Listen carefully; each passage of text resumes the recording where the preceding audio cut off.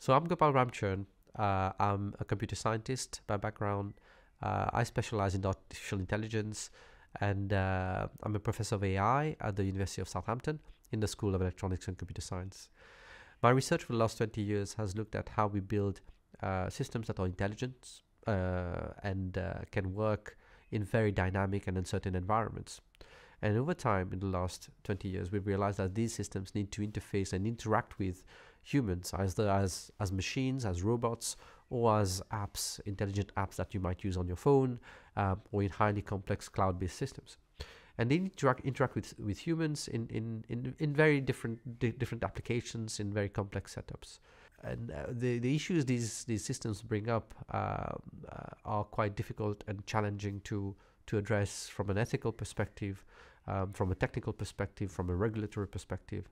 And uh, one of my roles uh, is as a director of the UKRI Trustworthy Autonomous Systems Hub. We are trying to address some of these issues of trust and trustworthiness in these systems as part of a range of projects. So the program started um, two years ago, and uh, we now have a range of projects in healthcare, autonomous vehicles, defense security, um, and Industry 4.0.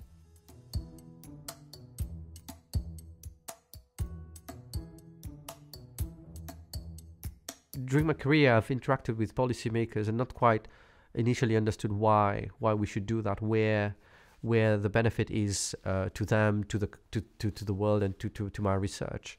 Um, and I've come to realize that um, there's a feedback loop.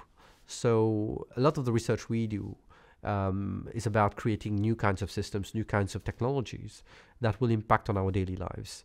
And uh, very often, policymakers are not uh, either aware of or need to be told about or need to be informed about you know the, the, the new emerging challenges that that our technology brings uh, brings with it. So a lot of my interactions with policymakers is about uh, exposing them to these new challenges these emerging challenges advising them on what uh, might happen if we deploy for example um, autonomous vehicles in, in, in cities or if we deploy swarms of unmanned aerial vehicles in in uh, in in uh, civilian airspace, um, and and and helping them work through the policy implications or the, the, the, the, societal implications of these technologies so that they can define uh, policy or at least inform our, our policymakers about you know, what, what, what can be done and, and where more research needs to be done or action needs to be taken on the ground, so interventions on the ground to, to address some of the issues that are raised by, by these technologies. So my engagements with policymakers has been quite uh, um, uh, has evolved over time. Uh, so we have learned how to present this information to them, how to engage with them to help them formulate policy, and that means you know, for example, presenting at events uh, um, in in London uh, or um, or responding to uh, policy consultations, organizing events uh, where we bring policymakers and researchers together as part of the work that I do, for example, uh, as part of the UKRI Trustworthy Autonomous Systems Hub. And at those events, we get them to think together and respond to queries from the researchers and, and, and, and, and, and vice versa, from uh, the policymakers to the researcher to see how we should work together to uh, formulate better policy um, and then uh, go on to fund further research uh, that would address some of the new and emerging challenges.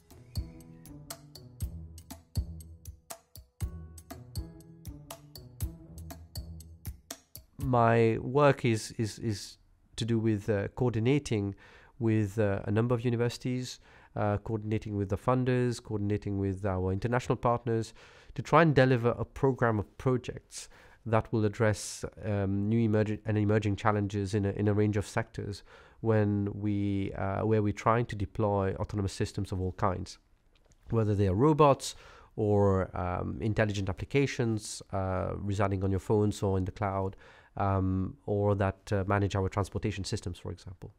And uh, the, the, the, Trustworthy Autonomous Systems Hub coordinates with six other large uh, research projects called the, the nodes, um, and we call it the TAS nodes because uh, TAS for uh, short for Trustworthy Autonomous Systems, and uh, a number of other smaller projects. Um, and uh, over the last uh, two years, we've been uh, funding a range of projects within the hub um, and with other universities that are not currently funded by the TAS program um, to come together, bringing the best research groups from around the UK to apply their different disciplinary perspectives on the challenges of building trusted and trustworthy autonomous systems. We talk a lot about interdisciplinary and multidisciplinary research, but TAS Hub for me uh, symbolizes interdisciplinary research um, uh, from the core, its core principles and its core um, processes. So we ensure that every project that uh, funded or, uh, supported by the TAS Hub brings together more than two disciplines um, and very different disciplines. So the social sciences, um, engineering, the computer sciences, uh, human factors, um, law, uh, all coming together to address these these big societal challenges that emerge when when you try to deploy autonomous systems of all types in in, in the real world. Um, and it's a difficult one because um, trust is not uh, is not something that uh, has a standard definition. Everyone defines it differently depending on, on the discipline they, they, they come from. So we've we initially struggled to, to, to get to get the community to come together to, to decide on what it means to do research on trustworthy autonomous systems. And over time, we've worked it out, and, and, and hopefully now coming to a point where the researchers can engage with each other um, using a common language and understanding of what we mean by autonomous systems. Um, so systems using AI, machine learning technologies, or automated uh, decision-making systems that that uh, make decisions on behalf of humans. Um, but also what definitions of trust that allow us to then unpack some of the socio-technical issues around the regulation uh, of these systems, the, the, the, human interaction with these systems, uh, or um, the, the engineering of these systems. Um, what our ambition is is really to try and and, and uh, get an international perspective on the best practices for trustworthy and trusted autonomous systems.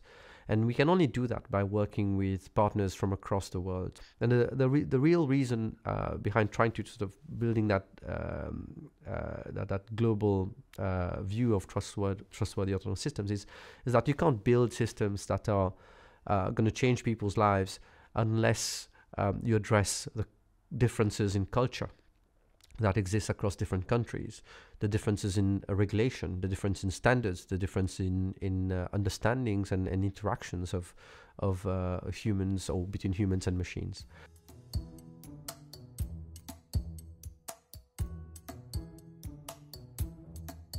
Speaking from personal experience, um, uh, you know, academics are not originally, not not not not trained to to think about uh, engaging with policymakers. Um, and uh, in order for them to see the value in engaging with policymakers, it's important to, to sort of think about the the reasons uh, for doing the research in the first place. Why are we doing research? And that's the kind of questions I ask myself. Why am I doing this research um, for the last 20 years? What is going to be the impact of this research? And uh, we mostly talk about impact in terms of industrial impact. You know, how do we create new products and, and technologies? And, uh, and that's how impact is, has typically been measured um, uh, when it comes to research. But we need to think more broadly about impact. Um, and uh, that's where policy is an important uh, pathway to impact for all of us researchers. Um, and it is something that is uh, accounted for and, and, and valued by the research councils. So research should be mindful of that and, and, and talk about it and, and engage with the policymakers to, to ensure that they demonstrate the impact of their work on policy. Uh, and not just in terms of shaping policy in the sense that you know you create new policy interventions based on the, the findings of your research, but also stopping policymakers from making the wrong decisions, right? So stopping policies that would um, negatively affect you know parts of society, for example. So I think my advice to researchers is to think carefully about what what impact they want to have on the world. Um, if research is meant to impact on on, on our well-being, on the economy, on uh, on uh, our personal freedoms, then we need to ensure. And I think the the, the main way we're going to achieve uh, these sorts of impacts is by engaging with policymakers and industry at the same time. So um, and then there are many me mechanisms to do this and many opportunities to do this. It's just a question of, of looking for it.